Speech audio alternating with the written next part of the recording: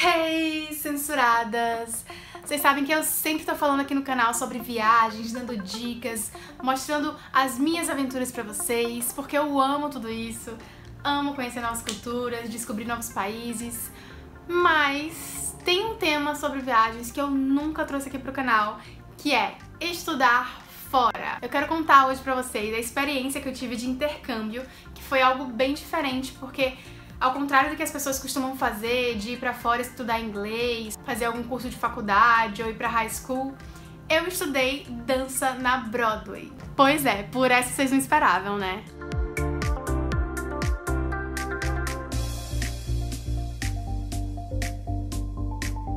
Bom, pra quem não sabe, eu sou dançarina desde os 3 anos de idade. Eu comecei no balé e ainda criança eu passei pro jazz. Daí em seguida eu comecei a estudar jazz funk e street dance, que são coisas que eu amo demais. E tudo isso era ao mesmo tempo. Eu fiz parte de um grupo oficial de dança que representava a escola de dança. E minha vida por muito tempo era ensaio, ensaio, ensaio, de domingo a domingo. A gente viajava muito com esse grupo de dança para estudar e para participar de competições. Em uma dessas viagens, a gente foi parar em Nova York, nos Estados Unidos, e é a partir daqui que eu vou começar a tag de hoje, que se chama Meu Intercâmbio.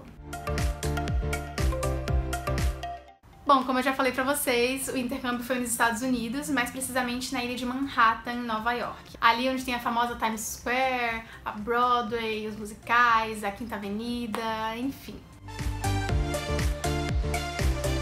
Eu fui com cerca de 10 a 15 outras dançarinas que participavam desse mesmo grupo que eu.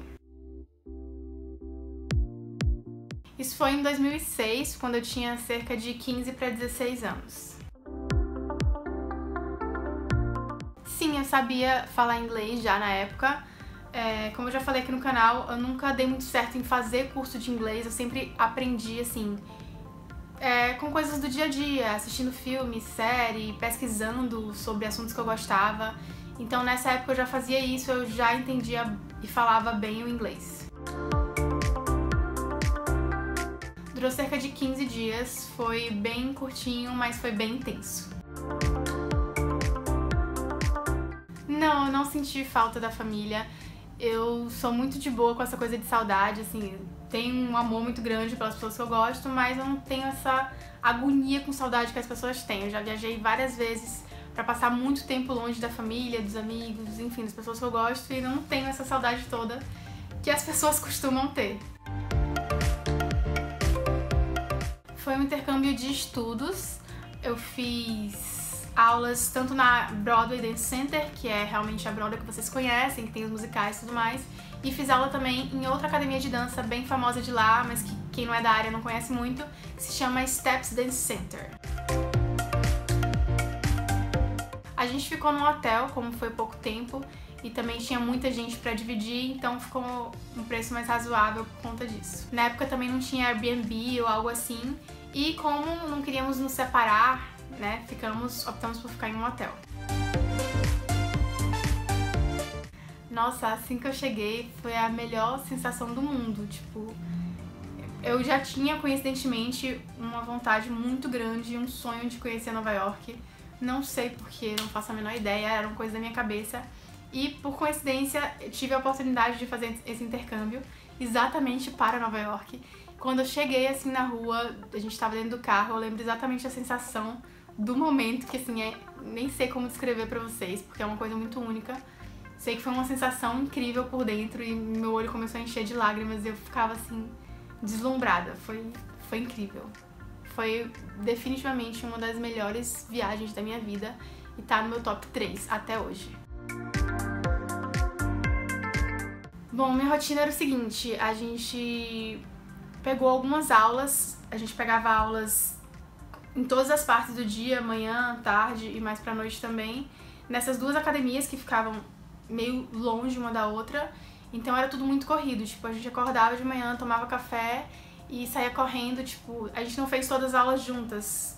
Eram, cada um personalizava a sua grade. Então tinha aulas que eu fazia junto com o pessoal, tinha aulas que eu fazia sozinha. E aí eu acordava e ia direto pra aula, de lá eu já tomava banho, já saía pra turistar, porque eu também queria muito conhecer a cidade.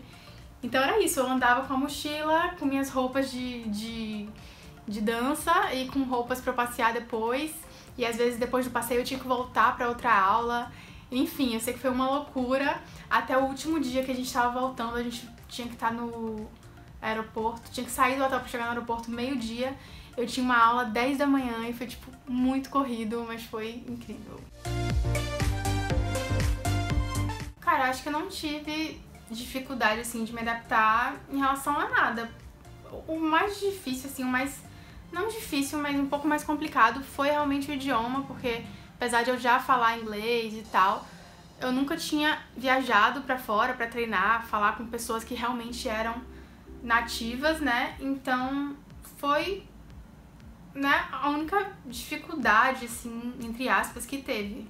Mas talvez se eu tivesse ficado alguns meses a mais, eu tivesse tido alguma outra dificuldade de adaptação. Teve nenhuma comida que eu experimentei que eu não gostei. Muito pelo contrário, eu amei tudo que eu comi lá. Até porque a alimentação deles tem muito mais a minha cara do que a alimentação dos brasileiros. Então, assim, quando eu fui pra lá, tudo que tinha lá de comer era coisas que eu amava. Eu fiquei achando maravilhoso e só queria comer aquilo pro resto da vida. Então, eu me dei muito bem com a alimentação lá. Mas também eu não sou o tipo de pessoa que prova muitas coisas novas, assim, de alimentação. Então, talvez se eu tivesse provado mais coisas, não teria dado muito certo. Eu lembro que uma comida que eu gostei muito, que eu nunca tinha visto aqui no Brasil, experimentado, até hoje eu não vejo, é o bagel, que é aquele pão que parece uma rosquinha, sabe? Com um buraquinho no meio, e eu comia muito ele com cream cheese. Não, eu não sentia falta nenhuma de comida brasileira. Inclusive, as minhas colegas, né, minhas amigas, elas foram comer em restaurante brasileiro em algum momento e eu não quis eu não fui, eu comi outras coisas, porque realmente não me faz a menor falta. Não é uma comida que eu me adapto muito bem. Sim, eu passei por um momento de desespero que, como eu falei, nesse dia que eu tinha a aula é, bem em cima do horário do voo, foi uma aula que eu ia fazer sozinha, todas as minhas amigas já tinham terminado a grade delas e eu ainda tinha essa aula para fazer. Eu fui sozinha pra aula, andando, porque não era tão longe do hotel assim. Assim, era um bom tempo de caminhada, tipo meia hora ou mais. Mas eu fui andando e na hora de voltar, eu tinha assim um tempo sobrando, eu quis passar em um lugar antes que eu queria muito conhecer. Passei e na volta eu tava tão empolgada conhecendo esse lugar, tipo, olhando as fotos que eu tinha tirado e olhando a rua e tudo mais, que eu me perdi. Eu fiquei, tipo, perdida em Nova York, eu não sabia o que fazer bem perrengue chique, né? E eu comecei a olhar pro relógio, na época não tinha facilidade de comunicação, WhatsApp, enfim, Instagram, essas coisas. Era tudo bem difícil, eu acho que nem lembro se celular da gente fazia muita coisa assim. Então, tipo, eu não tinha muita opção. Eu só tinha mesmo como tentar andar. Eu comecei a tentar andar para o lado que eu achei que era, que eu não fazia a menor ideia. Não tinha GPS também. Eu não lembro se eu tava com algum mapa ou se eu fui olhando o nome das ruas e tentando imaginar. Mas, assim, eu cheguei em cima da hora quando eu cheguei no hotel. Minhas amigas já tinham todas lá feito check-out, tava todo mundo com a mala esperando e eu tava, tipo, mega atrasada porque eu tinha me perdido. Mas, por sorte, deu tudo certo. Eu já tinha deixado minhas coisas todas prontas, então minhas amigas pegaram minha mala. E deu tempo de tudo, mas foi um desespero, um sufoco. Eu achei que eu ia perder o voo e eu não ia ter nem como falar com ninguém, porque na época não tinha é, WhatsApp, não tinha internet fácil, não tinha nada. Pra gente ir pra internet, a gente tinha que e, tipo, pedir pro hotel pra usar, pegar um computador, esperar entrar na internet, era um desespero, gente. Eu fiquei muito desesperada, mas deu tudo certo. Não, acho que eu não paguei nenhum mico nessa viagem. Aliás, teve um dia que eu ia. É, na época, como eu, eu falei pra vocês, eu era menor de idade e a maioria das meninas do grupo era maior de idade. Então, tipo, chegava à noite, às vezes a gente saía todo mundo junto e às vezes elas iam sair, tipo, pra lugares que eram mais pra galera mais velha e tal, iam chegar mais tarde. E as responsáveis pelo grupo ficavam muito preocupadas com a gente que era menor de idade. Só que minha mãe sempre foi muito de boa, ela deixava eu sair pra qualquer lugar, ela deixava, contanto que eu avisasse tudo, pra ela tava tranquilo. E aí eu sei que teve um dia que eu meio que tentei sair escondido com com as meninas mais velhas, porque elas sabiam que minha mãe era de boa, que eu era de boa. E aí, quando a gente tá no elevador, as meninas me escondendo assim, o elevador chegou no primeiro andar, né, no térreo. As meninas fizeram um paredão em volta de mim, eu tava bem no meio. Quando a porta abriu, tá bem a diretora esperando pra entrar no elevador. E aí ela viu e brigou com todo mundo e eu tive que voltar pro quarto. Mas depois a gente conversou, ela conversou com minha mãe e aí ela viu que realmente teria sido tudo bem eu sair. Cara, acho que a experiência mais louca que eu vivenciei realmente foram as aulas em si, porque foi tipo muito incrível. Eu foi o meu primeiro contato com outra cultura assim de outro país, porque eu nunca tinha viajado para fora. E eu ter ido, tipo, vivenciar essa cultura de perto, de estar tá fazendo aula do dia a dia ali, vivendo realmente a rotina deles e vendo, sei lá, como eles funcionam, como eles eles vivem realmente, né, os locais e a galera que os alunos de lá regulares, porque a gente fazia aula tanto com alunos regulares como com alunos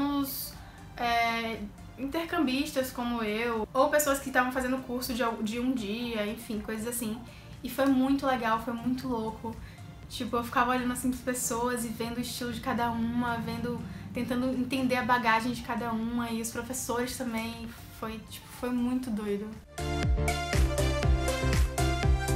Não, eu não fiz muitas compras, eu nunca fui muito de fazer compras. É só cara de patricinha mesmo, tá, gente? Mas eu odeio ficar fazendo compras. Desde essa época eu já não gostava, eu lembro que as outras meninas até compraram bastante coisa, mas eu nem comprei. Eu não tenho muito interesse por essas coisas. Tipo, se eu comprei alguma coisa assim, foi tipo, besteira, alguma coisa que eu precisava, mas tipo, essa coisa de ir pra outlet e sair cheia de compra, não, não faz muito meu estilo. Com certeza, não tenho a menor dúvida e não precisaria pensar duas vezes. Tipo, qualquer oportunidade de intercâmbio que surgisse agora na minha frente, eu aceitaria. Porque, nossa, é tipo uma experiência única e incrível. Por mais que você faça 500 intercâmbios, com certeza cada um deles vai ser especial e único. E eu tenho interesse em todos os tipos de intercâmbio, seja para estudar, para trabalhar, para os dois, para trabalho voluntário, para qualquer coisa, gente. Eu, eu teria muito, muito, muito interesse, porque eu acho intercâmbio é, tipo, uma das melhores coisas do mundo. Sim, pretendo morar lá, assim como eu pretendo morar em vários outros lugares do mundo. Eu sou meio nômade, né? Vocês já sabem. Inclusive, quem não assistiu meu vídeo sobre isso, clica aqui no card. Mas eu, tenho, eu gosto muito de conhecer outras culturas, de vivenciar realmente a cultura do local mesmo, dos locais. É, não só, tipo, ah, pra viajar e conhecer o lugar, não. Eu gosto de ficar no lugar e de ver como as pessoas vivem.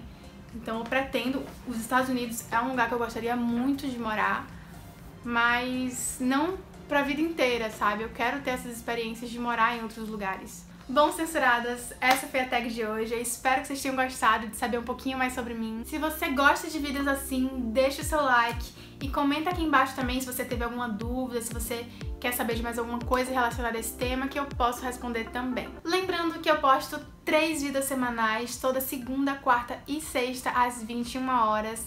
Então já se inscreve no canal e ativa o sininho para você não perder nenhum, tá bom? Além disso, se você quiser me acompanhar mais de perto, é só me seguir no Instagram que tá aqui na tela e se inscrever no meu outro canal, que é o Vic Atriz, e vai aparecer aqui no centro assim que esse vídeo terminar. É isso, um beijo e até logo!